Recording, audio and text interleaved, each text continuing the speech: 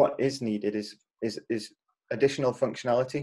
So at the moment, what's holding open banking payments back is you can't um, easily facilitate refunds back to the the consumer. The merchant needs that ability to refund the consumer on the high street or in retail.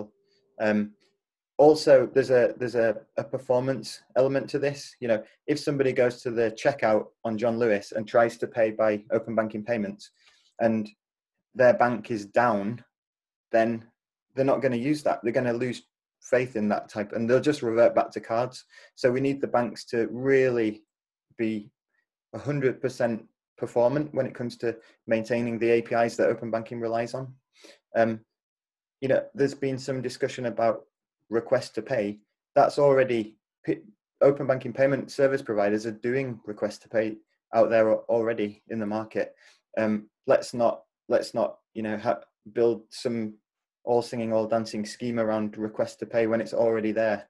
Um, but these things, the, the open banking service providers need some additional functionality from banks, and then I think we will be in in the mainstream e-commerce space.